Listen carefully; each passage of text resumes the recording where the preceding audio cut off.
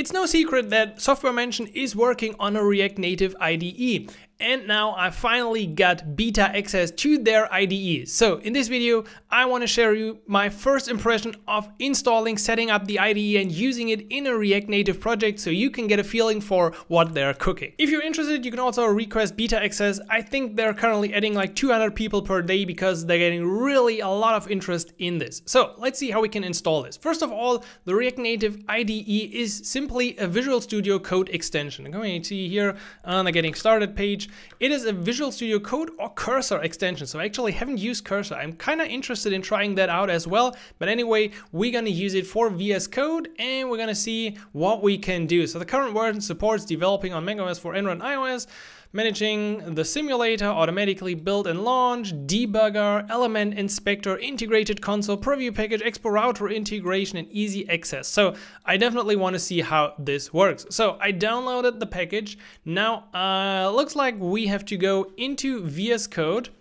Uh, so let's open VS Code. Let's go to extensions, say install from, okay, gonna probably put that a bit up here so you can see this install from whatever file. Gonna drop that file and install the extension. Completed installing React Native IDE extension.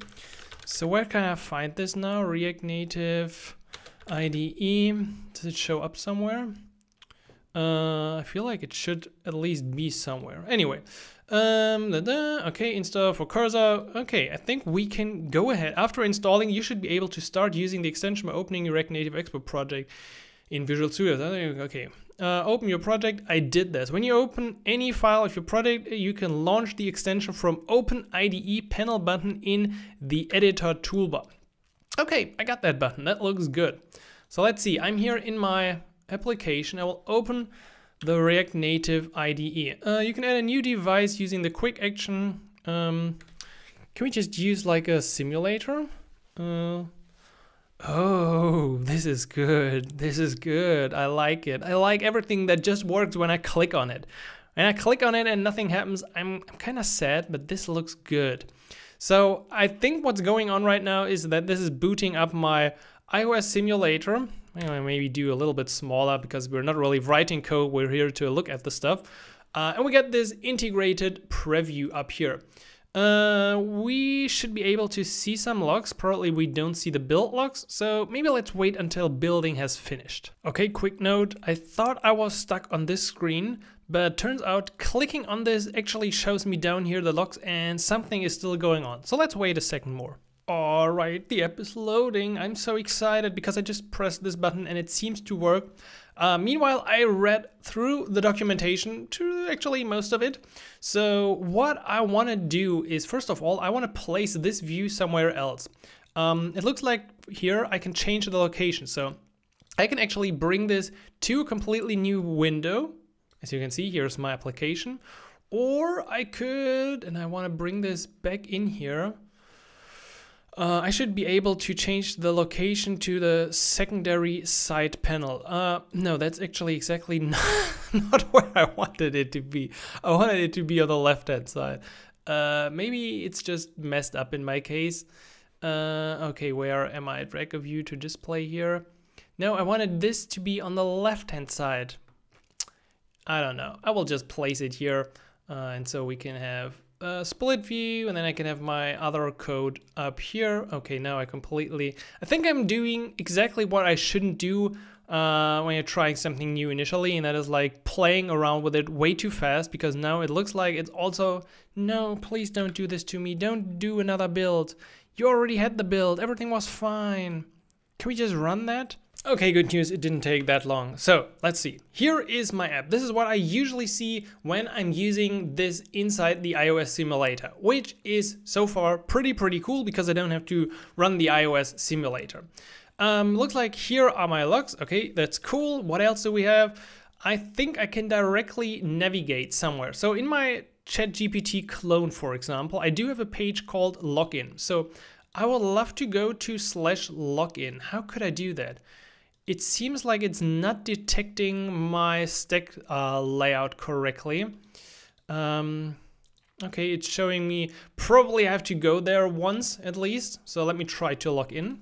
All right, had some problems using the keyboard, especially doing like an add sign or pasting stuff from here. So a little bit of confusion here with the simulator and it didn't work exactly as I expected it. But now we're back here in my application and what I noticed is that I can actually click somewhere uh, what was the shortcut? So at least if I do this right here, oh, this is so cool. This is like exactly like web development. I can expect and I dive straight into that component.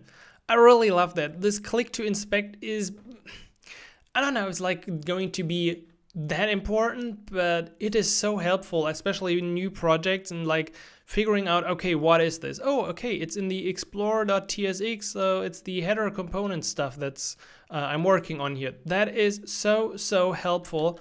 Um, also, we see now I do have the different URLs. So I am actually able to go through these and navigate with that almost like in history. That is, it's it's really good. It's really good. Okay, uh, let's see. If I do something here in my chat view, uh, I can of somehow trigger a function. Uh, let's see, let's just do a breakpoint here in use effect. If I do a breakpoint, um, I think it should, okay, this is not, but if I click here, uh, how can I trigger that breakpoint? Um, maybe I should do a breakpoint in some other place. Uh, oh, this is actually the explore page. So maybe we already got there. No, we're not. We're not having the breakpoints yet. Uh, we can also, by the way, switch the device text size. Okay, this is interesting. I don't know if I want this. Um, but this, by the way, caused my breakpoint to hit. So if you're a fan of debugging with breakpoints, which I'm honestly, I gotta confess, I'm not really. I used this a few times in the past, but usually I just put in my console log and lock the stuff. I know uh, the breakpoints and whatever I can access here is a lot better usually, but I don't know. I'm, I'm, I let me know in the comments. Are you a fan of breakpoints or are you doing the poor man's logging with console log? I honestly don't know. Um, okay, let's continue uh, because I don't want to pause in the debugger. So as highlights, we had click to inspect, which worked, definitely thumbs up. Uh, we had routing through the URL bar, which I can confirm does work as well. We've seen breakpoints working. Uh, we do have a logs integration. Um, do we see the logs really? Let's put a log here. Uh, does this work? Okay, so I should probably put this in actual stuff that works. Okay, like this. Um, okay, where are my logs? Oh yeah, here's the log. Um, it's coming from the explore page. That is pretty cool, I think. Um, I honestly think this is pretty good because this gives me exactly the location of that lock and I can jump into this. I don't know if this works when I just use like Expo run and debugging. Mm, this could also be potentially really helpful. Now, um, what we can do as well is develop components in isolation. So I want to test that feature as well. We've already seen a few. Um, and I don't know which combination exactly helped me to like Ah, it was, yeah, exactly. When I right click on my view here, you see this? I get like the, um, the hierarchy of that view. So I see that image component, or can I click up here? That should give me the icon and I can click here and this is so good. This is so good. I love it. This is going to be really, really great. Um, I go here. This is helping so many people because this is exactly what they need. Like, um, Let's just imagine you have the simulator and you think, oh, this image here is maybe misplaced. I want to put this somewhere else. Bada bing, bada boom, I'm right here at the image. Otherwise, I would have to go like, okay, it is which file and which line and where's the image? It's just completely a game changer for debugging and building my application. I honestly, I'm already sold Software Mansion, shut up and take my money. But there's one more thing that I want to try. So uh, as I said, we've seen most of that stuff, but we haven't seen develop components in isolation. So there's a preview package that I can use to preview a component. I'm honestly super excited how that works. So let's see, I will do a new Simon uh, .tsx React Native functional export component. This is my Simon component, okay?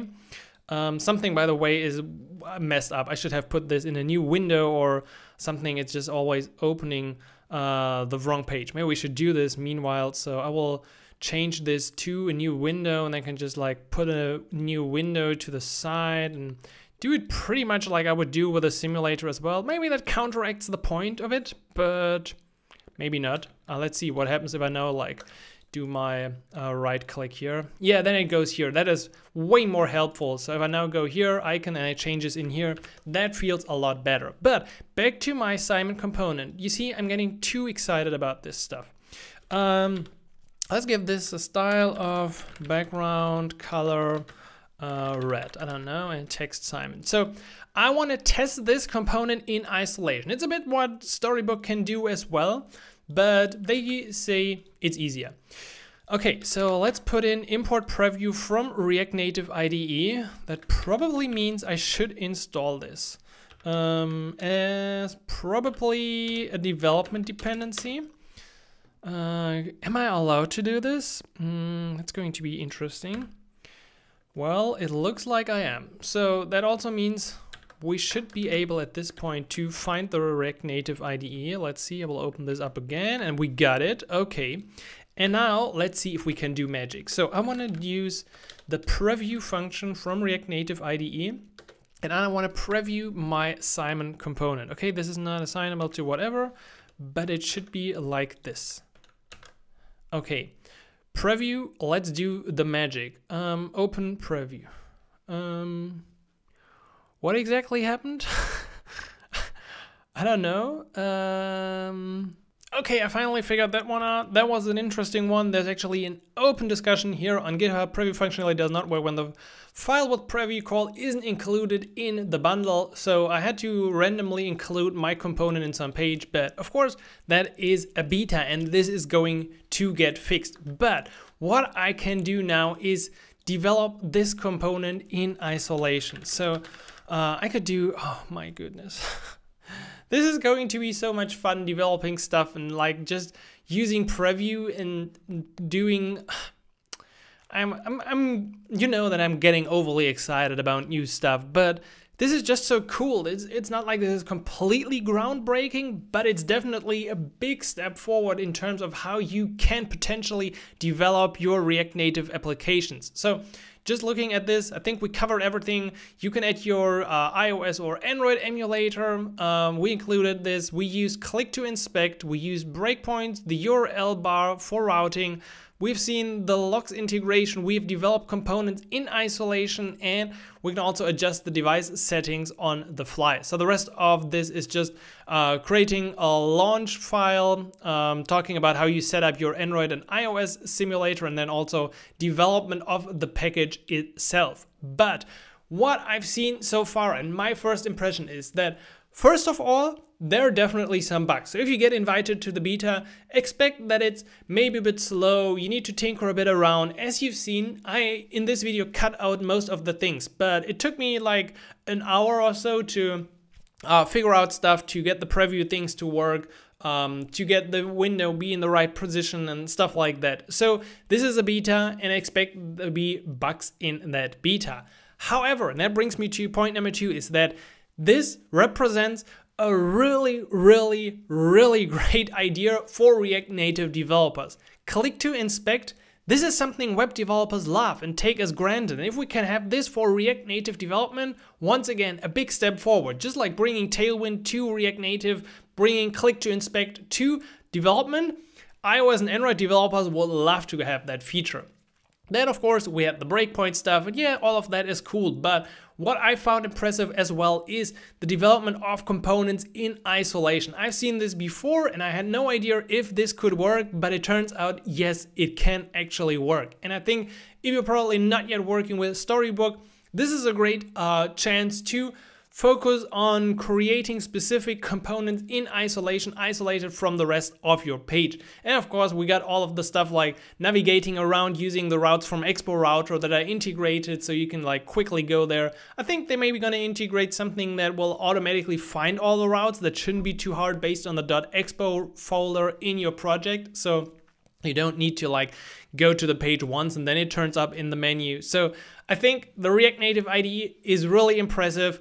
Uh, awesome job at uh, Software Mansion. I talked with Christoph on the Galaxies on the Rocket Ship podcast before, so I will link to that episode. That was like somewhere fall or December last year when he first announced this, uh, and now it's finally looking like this is becoming an actual thing. I wasn't sure at that point because it was an early project, and I thought mm, maybe this is not going to happen, but it looks like the React Native IDE is happening. So what are your thoughts? Have you tried out the React Native IDE? What uh, do you think about everything that you've seen in the video? Please let me know in the comments. I'm pretty sure Christoph and the team of Software Mansion will also mention, uh, will monitor the comments and questions you might have below this video. So put them down and let me know what you think. And don't forget, hit the subscribe button, check out galaxies.dev if you want great React Native courses, and I will catch you in the next one. So until then, happy coding, Simon. Thank you.